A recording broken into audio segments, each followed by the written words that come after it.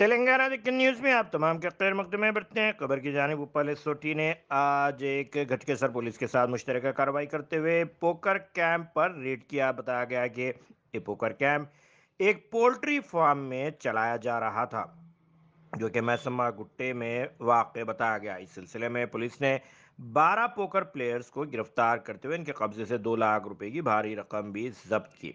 अगर अभी तक आपने चैनल को सब्सक्राइब नहीं किया तो फौरी कर लें आलमी मुल्क रियासती मुकामी खबरों के लिए। देखते रहिए आपका अपना चैनल तेलंगाना दक्कन न्यूज़।